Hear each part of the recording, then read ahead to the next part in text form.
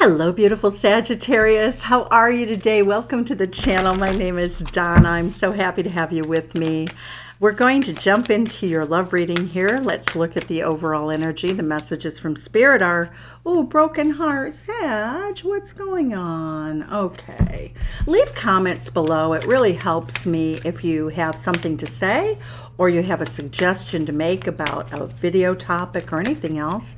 Please, I answer comments. Okay. Temple Path. So you really are looking for answers in your life as to what is going on in a period of time that you're you're, you're experiencing that's very rough. We have financial constraints. Interesting. Okay.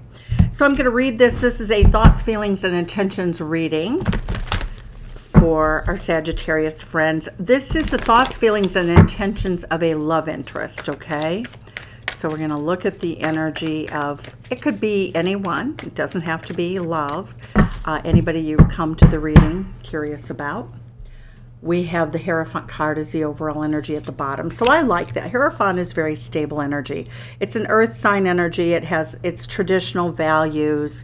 It's trying to be do the right thing kind of energy. It's very important. It is a marriage energy. It's someone, the overall energy of this reading is coming in as being a very honest, legitimate, person who is desirous of doing the right thing, having a long term commitment or committed relationship. Look at this. Their thoughts about you are that you are absolutely beautiful, that you don't need anybody, that you stand alone on your own, that you're very creative, you're very, very desirable. They see you as a catch, my friends. The Three of Cups, this could be a friend of yours. There's a possibility that this person has not really come forward to you yet. Three of Cups is celebratory energy. Look at this. Oh my gosh. Sagittarius, Ten of Cups. What's bringing you to the reading is a desire for a very happily ever after relationship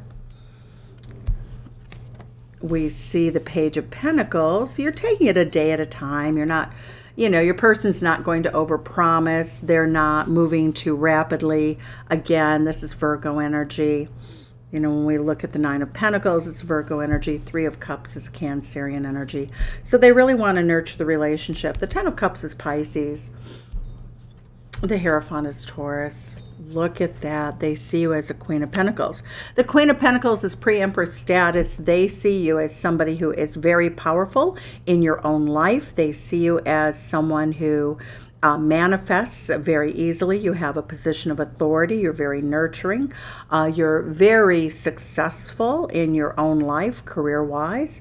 Queen of Pentacles is uh, Capricorn energy. You know, you're very serious about what you do. So I really like the energy. It's Virgo, Capricorn, and Taurus.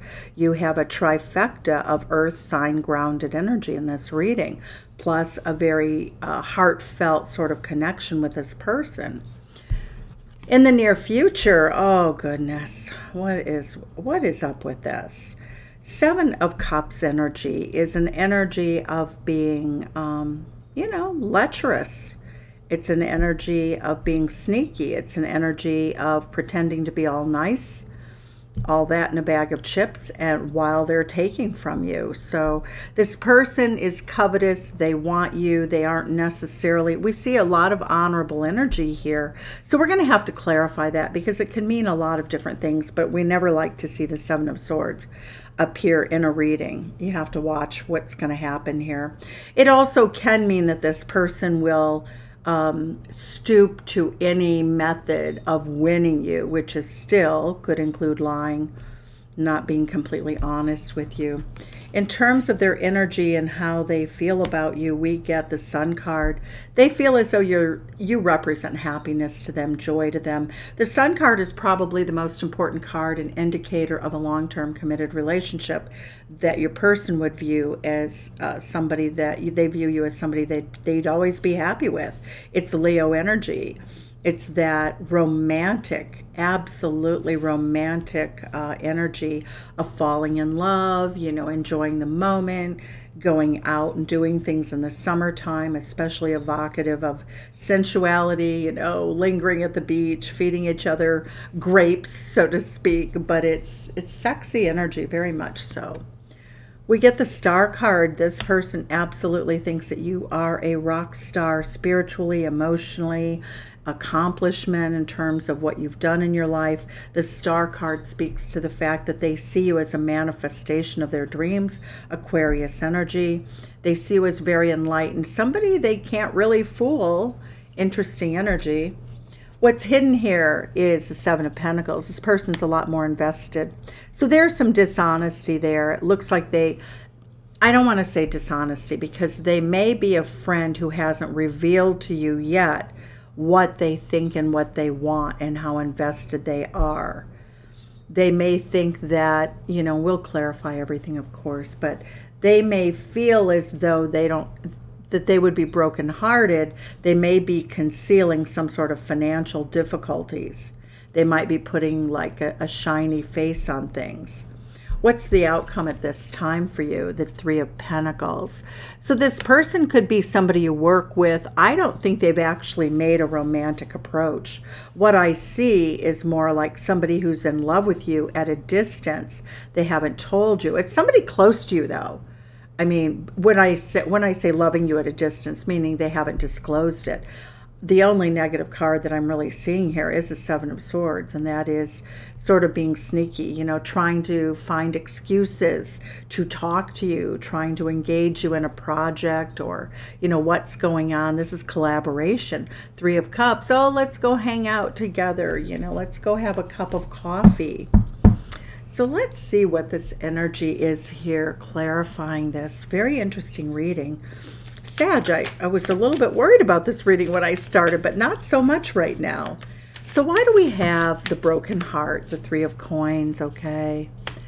They just don't think that you are giving them attention. This is the same card.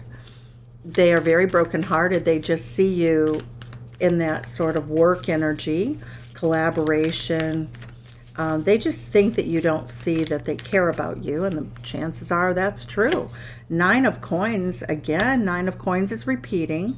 Whenever we have that, it solidifies the interpretation and the meaning of the reading.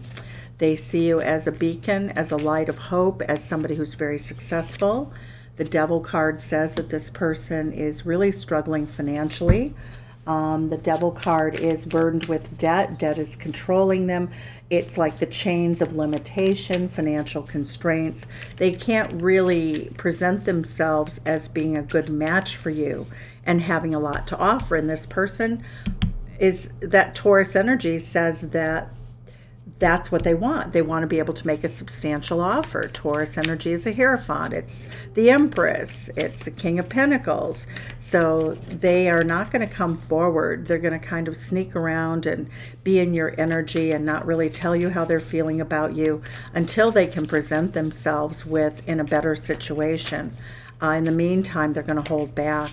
They're going to put you in the friend zone or make you think that you are a dear friend, but nothing more. But you know what? Said you're way smarter than that. So let's see what we have here for the snake card, the seven of swords. These fell out. The two of coins. I think that you could be dating somebody else. And they just do not want to be juggled. They feel as though the timing is not right. The five of swords they can't win. They don't think that they can win. The moon card shows that they're feeling very uh, confused.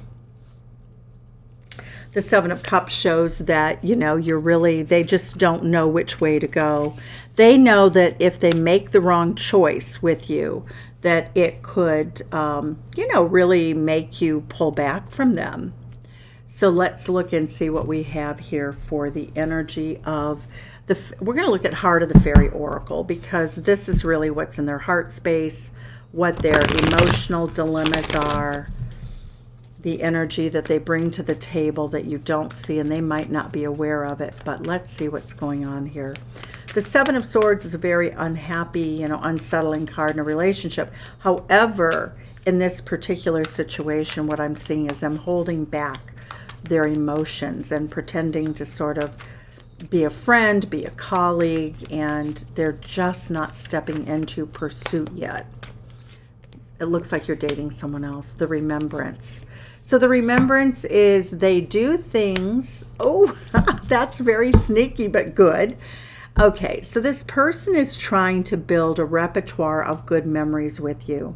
So, for instance, if they were to say, let's go out for a drink after work during the holidays, they would try to take you to a place in which you could look back at it and go, that was so much fun. And they have the best decorations and they have the best food. And they're trying to build like a library of memories with you in a very subtle way.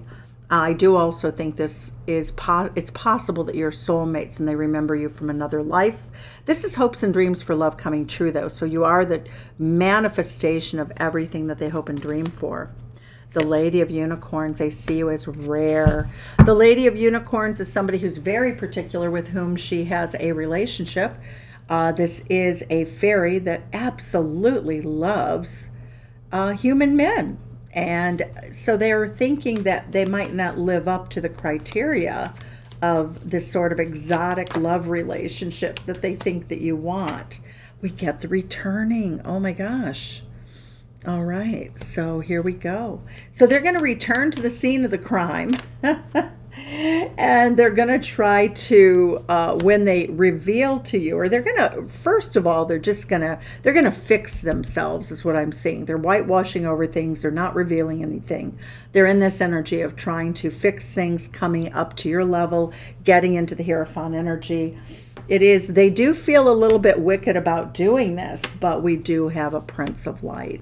We have somebody who has a very good spirit who feels a little bit dubious about this pickle that they're in. You know might not even be their fault. Let's look and see about their finances. The devil card says that you know they could have an addiction but you know on the other hand we also see that sometimes people fall on hard times temptation. All right there we go tink so I would say that you're looking at a person who got themselves in trouble because of uh, some sort of addictive behavior, you know, whether they're a spendaholic, whether they're on Amazon all the time, whether they go to uh, whether they go to the casino, but Tink is all about just being playful, kind of like I just want to tinker around and have fun. So I think that you have met somebody here that you know is really a good person a good spirit. They know what they want but they're not there yet. They are not at your level sag. So right now i see them keeping this very much a secret. Let's look at the advice for you. Let's see what spirit has to say about that. What's the advice for you what advice should Sagittarius follow? You know, I think that you are really okay without this person. I think you're very successful, very content. It does look like you're dating other people. Re refuge, Enchanted Fern Grotto. So what we're seeing here is that this person does offer, you know, they offer this energy of being a, a, bit of a refuge for you. They're sort of like the port in the storm, the person that'll talk to you, spend time to you with who you can confide. We see meandering pathway. I'm not really seeing you feeling as though you want to do anything quickly with this person. You do seem to have the knowledge that they have these feelings for you. You are moving forward, but we can see you're alone in the boat there. So I feel as though you have a good idea, but this person's meaningful in your life. It could be, again, a friend, a colleague, but I'm going to leave it there, Sagittarius. Wishing you a good week ahead. Take care.